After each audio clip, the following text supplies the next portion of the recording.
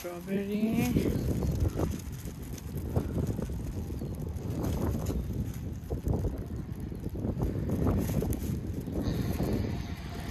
It's a wonderful family farm so sweet